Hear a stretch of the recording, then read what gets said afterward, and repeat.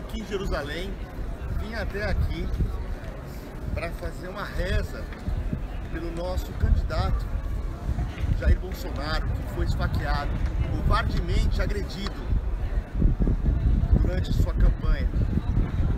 Então trouxe aqui o nome de Jair Bolsonaro, que é o único candidato que apoia Israel. É o único candidato de todos que apoia Israel. Então se você apoia Israel, se juntem comigo nessa oração aqui no Muro das Lamentações de Jerusalém. Vamos colocar aqui o nome de Jair Bolsonaro para que Deus faça com que ele se recupere dessa facada, dessa covardia que aconteceu com ele. Vou colocar lá o nome. Deus vai honrar, vai dar muita saúde para ele.